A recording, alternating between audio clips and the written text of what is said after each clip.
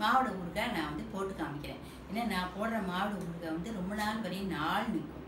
அது எப்படி மெத்தேடில் எப்படி போடணுங்கிற மெத்தேடை நான் இப்போ சொல்லித்தரேன் உங்களுக்கு. நீங்கள் அதுக்கு பார்த்துங்க நான் இப்போ வந்து மாவடை வந்து காம்பு வடவும் வாங்கலாம் காம்பு இல்லாத வடவும் வாங்கலாம். இது வாங்கினாலுமே நீங்கள் வந்து போடுற மெத்தேடு கரெக்டாக இருந்ததுன்னா அழுகவே அழுகாது. நான் காம்புள்ள வடு தான் அரை கிலோ வாங்கியிருக்கேன். இந்த வடுவை ரெண்டா வாஷ் பண்ணி நான் தொடச்சி வச்சுருக்கேன் தொடச்சி வச்சுருக்கேன். துடைக்க முடியறதுக்கு நேரம் இல்லைன்னு சொன்னீங்கன்னா துடைக்கிறதுக்கு நேரம் இல்லைன்னு சொன்னீங்கன்னா ஃபேன் காத்தில் ஒரு துணியை போட்டு கொஞ்சம் ஒரு நிமிஷம் போட்டு வச்சுருங்க. போட்டு வச்சுட்டு இங்கே எப்படி இதை எடுத்து வச்சுங்க.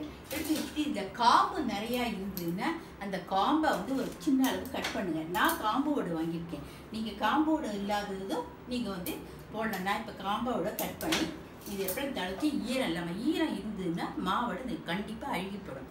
இப்போ நான் ஈரம் இல்லாமல் நல்லா வச்சுக்கேன். நான் இது அரை கிலோ தான் இந்த மாவடு இந்த அரை கிலோவுக்கு உள்ளது எப்படி மெத்தட் போடணுங்கிறத நான் சொல்கிறேன் அரை கிலோவுக்கு நீங்கள் வந்து இந்த க கல் உப்பு இருக்குது பார்த்தீங்களா இந்த கல் உப்பை வந்து எப்போ கையால் ஒரு பிடிச்ச பிடி ரெண்டு பிடி ரெண்டு பிடி இப்படி போடணும். ஏன் தெரியுமா? கல் உப்பு ரெண்டு பிடி போடணும்னு உங்களுக்கு சொல்கிறேன்னா வந்து இது நீங்கள் சில பேர் வந்து பொடி உப்பு போடுறாங்க. பொடி உப்பு போடவே கூடாது. கல் உப்பு போட்டால் தான் தண்ணி விட்டுக்கும் கல் உப்பு வந்து நாள் நிற்கும். கல் உப்பு ரெண்டு பிடி கிண்ணத்தா ஏன் பொடி போடக்கூடாது? கிண்ணத்தால போட்டீங்க. கிண்ணத்தால போட்டீங்கன்னா உங்களுக்கு அளவு தெரியாது அப்படின்னு சொன்னா நான் கையால பிடிச்ச புடி ரெண்டு பிடிச்ச புடி இதில் போட்டிருக்கேன்.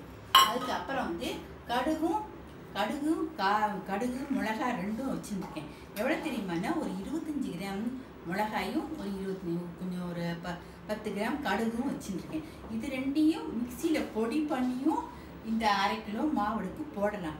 அப்படி அரைக்கிறதுக்கு உங்களுக்கு பொடி பண்ண மிக்சியில் நேரம் இல்லை. பொடி பண்ணி நான் ரெண்டு எடுத்து வச்சுருக்கேன். இப்போ இந்த பொடி பண்ணியும் இதில் போடலாம். அப்படி பொடி பண்ண உங்களுக்கு நேரம் இல்லைன்னு சொன்னான்னா நீங்கள் வந்து கடையிலேயே இது எப்படி பேக்கெட் கடுகு பொடி விற்கிறது காரப்பொடி விற்கிறது கடையில். இந்த கடுகு பொடி காரப்பொடி எவ்வளோ போடணும்னா இந்த கடுகு பொடியில் வந்து இவங்க இருபத்தஞ்சி கிராம் போட்டால் போதும்.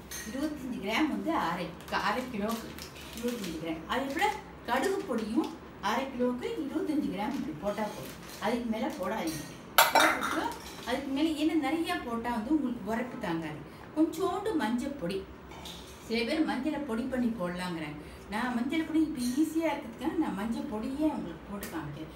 இதை போட்டுட்டு அதுக்கப்புறம் வந்து நல்லெண்ணெய் அதாவது வடக்கெண்ணெய். வடக்கெண்ணெயை கொஞ்சம் மேலே விடணும். ஏன் தெரியுமா வழக்கெண்ணெய் விடணும்னு சொன்னேன்னா வழக்கெண்ணெய் வந்து ஹீட்டையும் குறைக்கும் மாவிடவும் அழுகாது நாள் நிற்கும். இது எப்படி வழக்கெண்ணெய் நிச்சயமாக ஒரு முட்டை நீங்கள் விட்டு தான் ஆகணும். நான் ஒரு முட்டை விட்டுருக்கேன் ஒரு ஸ்பூனால் அளக்கல. ஒரு ஸ்பூன் ரெண்டு ஸ்பூன் ரெண்டு ஸ்பூன் அளக்கணும் போடணும். போல் எப்படி நல்லெண்ணெய் முன்னே இதில் வந்து சின்ன ஸ்பூனாக இருக்குது நீங்கள் அரை கிலோவுக்கு நான் இதாக சின்ன ஸ்பூனாக ரெண்டு ஸ்பூன் விடுறேன். நீங்கள் ஒரு கிலோ ரெண்டு கிலோ அதுக்கு டபுள் மங்கு நீங்கள் விட்டுக்கலாம். அதே போல் ரெண்டு ஸ்பூன் நல்லெண்ணெய் விட்டுருக்கேன். அப்புறம் வழக்கெண்ணெய் நல்லெண்ணெய் கடுகு பொடி காரப்பொடி கல் உப்பு எல்லாத்தையும் போட்டு நல்லா இதை நீங்கள் நல்லா குளிக்கிட்டு நல்லா இதில் கையால் பெசரிட்டு எடுத்து வச்சிங்கன்னா கையால் நல்லா பெசரணும் அதுக்கு கையால் நல்லா பெசரிட்டு இது எப்படி எடுத்து ஒரு டப்பாவில் போட்டு நீங்கள் எடுத்து வச்சிட்டிங்கன்னா அது வந்து டூ டேஸ் த்ரீ டேஸ் நல்லா அப்படி குளிச்சு குளிக்க விட்டுட்டே இருங்க. ஆட்டோமேட்டிக்காக அது தண்ணி விட்டுரும் அந்த தண்ணியிலேயே இந்த மாடு ஊறினா ஒரு வருஷம் ஒன்றரை வருஷம் ஆனால் கூட இந்த ஒரு மாடு கூட அங்கே அழுகாது.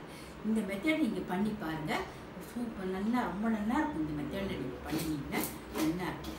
அதனால தான் நான் கையாலே எல்லாம் போட்டுட்டோம் சார் ஏன் கல் உப்பு போடணுமா? ஏன் சால்ட் உப்பு போடக்கூடாதா? சால்ட் உப்பு தான் போடக்கூடாதுன்னு சொன்னேன். தண்ணி விட்டுக்காது தண்ணி விட்டுக்காது.